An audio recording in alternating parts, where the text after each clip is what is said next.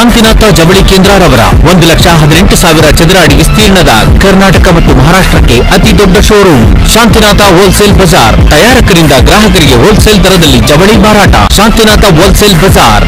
Main road, Konnur, Gokak taluk, Belagavi. ಎಲ್ಲರಿಗೂ ನಮಸ್ಕಾರ. ನನ್ನ ಹೆಸರು ಮನಸ್ವಿ ಕುಲಾಲ್ ನಾನು ಕಾರ್ಕಳ ತಾಲೂಕಿನ ನಿಟ್ಟೆ ಗ್ರಾಮದ ಸರ್ಕಾರಿ ಹಿರಿಯ ಪ್ರಾಥಮಿಕ ಶಾಲೆ ಕಲಂಬಾಡಿ ಪದವು. ಇಲ್ಲಿಯ ನಾಲ್ಕನೇ ತರಗತಿಯ ವಿದ್ಯಾರ್ಥಿನಿ. ವಯಸ್ಸಿನಲ್ಲೂ ಅನುಭವದಲ್ಲೂ ಕ್ರಿಯಳಾದ ನಾನು ನನ್ನ ಮುಕ್ತ ಅಭಿಪ್ರಾಯವನ್ನು ನಿಮ್ಮೆದುರು ಹಂಚಿಕೊಳ್ಳಲು ನಿಂತಿದ್ದೇನೆ.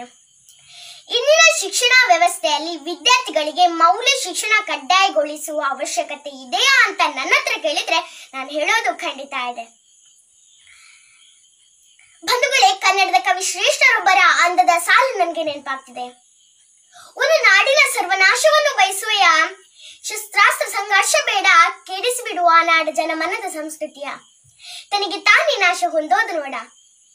ಬಂಧುಗಳೇ, ಮೌಲ್ಯ ಅಂದ್ರೆ ಬೇರೇನಲ್ಲ. ನಮ್ಮೊಳಗೆ ತುಂಬಿರುವ ಸಂಸ್ಕೃತಿ, ಸಭ್ಯತೆ ಮತ್ತು ಸಜ್ಜನಿಕೆಗಳೇ ಮೌಲ್ಯಗಳು. ಇಂದಿನ ಶಿಕ್ಷಣ ವ್ಯವಸ್ಥೆಯಲ್ಲಿ ಮಕ್ಕಳಾದ ನಮ್ಗೆ ಮೌಲ್ಯ ಶಿಕ್ಷಣ ಕಡ್ಡಾಯಗೊಳಿಸಲೇಬೇಕಾದ ಅನಿವಾರ್ಯತೆ ಇದೆ. ಯಾಕೆ ಅನ್ನೋದು ನನ್ನದೇ ಪುಟ್ಟ ಬದುಕಿನ ಒಂದು ಅನುಭವವನ್ನ ನಿಮ್ಮೆದುರು ಹಂಚಿಕೊಳ್ತೇನೆ. ಇತ್ತೀಚೆಗೆ ತೀರಾ ಇತ್ತೀಚೆಗೆ ಹಿರಿಯರೊಬ್ಬರ ಜೊತೆಗೆ ಹೀಗೆ ಸುಮ್ಮನೆ ಉಡುಪಿಯ ವೃದ್ಧಾಶ್ರಮಕ್ಕೆ ಭೇಟಿ ಕೊಟ್ಟಿದೆ. ಅಲ್ಲಿ ಅಜ್ಜ, ಅಜ್ಜರು ಹೇಗೆ ಬದುಕುತ್ತಿದ್ದಾರೆ ಎಂದು ತಿಳಿಯುವ ಕುತೂಹಲ ನಂದು. ಒಬ್ಬ ಅಜ್ಜನನ್ನು ಮಾತನಾಡಿಸಿದೆ. ಆ ಅಜ್ಜನ ಮಗ ಮತ್ತು ಸೊಸೆ ಶಿವಮೊಗ್ಗದ ಖಾಸಗಿ ಆಸ್ಪತ್ರೆಯಲ್ಲಿ ಪ್ರಸಿದ್ಧ ವೈದ್ಯರು. ಈ ಅಜ್ಜ ಯಾವುದೋ ಕಂಪನಿಯಲ್ಲಿ ಸಾಮಾನ್ಯ ಕ್ಲರ್ಕ್ ಆಗಿ ದುಡಿದು ತನ್ನ ಹೊಟ್ಟೆ ಬಟ್ಟೆಯನ್ನು ಕಟ್ಟಿಕೊಂಡು ಮಗನನ್ನ ಓದಿಸಿ ಡಾಕ್ಟರ್ ಆಗಿ ಮಾಡಿದ್ರು. ಆದ್ರೆ ಈ ಅಜ್ಜನ ರಟ್ಟೆ ಬಲ ಕಡಿಮೆ ಆಗ್ತಾ ಇದ್ದ ಹಾಗೆ ತನ್ನ ಮಕ್ಕಳು ದೂರದ ಉಡುಪಿ ವೃದ್ಧಾಶ್ರಮಕ್ಕೆ ಸೇರಿಸಿ ಕೈ ತೊಳ್ಕೊಂಡ್ಬಿಟ್ರು.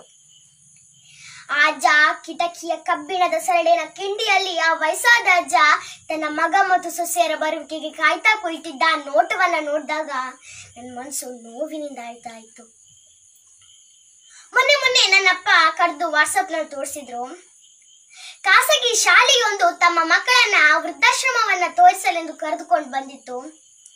ಅಲ್ಲಿ ಆರನೇ ತರಗತಿಯ ಬಾಲಿಯೊಬ್ಬಳಿಗೆ ತನ್ನ ಅಜ್ಜನ ದರ್ಶನವಾಯಿತು.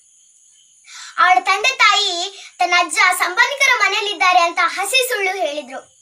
ಆ ಹುಡುಗಿ ಮತ್ತು ಅವಳ ಅಜ್ಜ ತಬ್ಬಿಕೊಂಡು ಅಳುವ ದೃಶ್ಯವನ್ನ ನೋಡ್ತಿದ್ರೆ ನಮ್ಮೆಲ್ಲರ ಮನಸ್ಸು ಮರಗ್ತದೆ. ಬಂಧುಗಳೇ ಯಾಕಿಂದ ಕಾಲ ಬಂತು?